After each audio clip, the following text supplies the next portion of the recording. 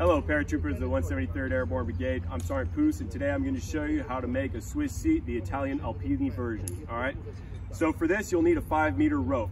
This rope can hold 22 kilo newtons. All right. So that's about two tons.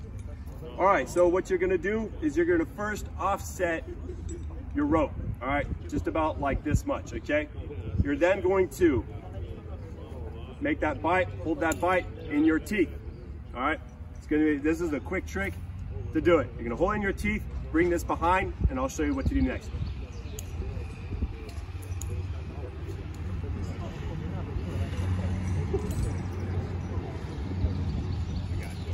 I bring it inside from bottom to top.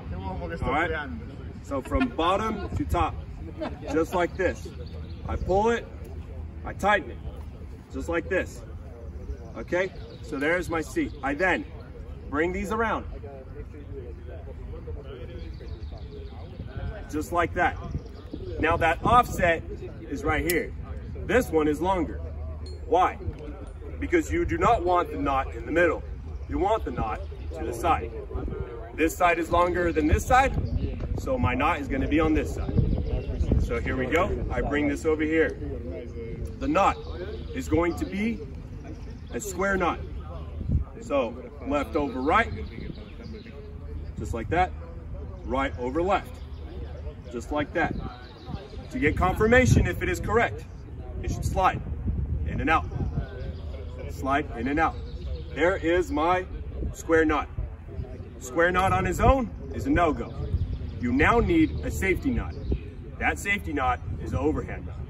So for that, you will come in over here, make that loop.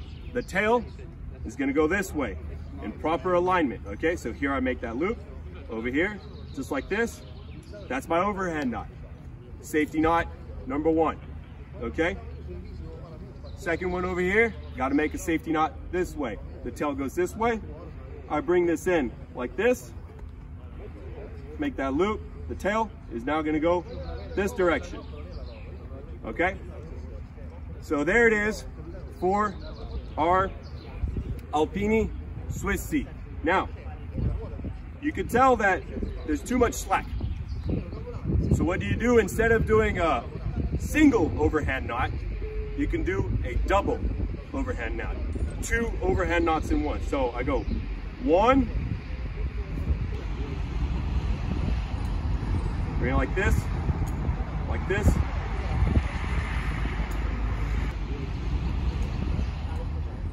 and right in here.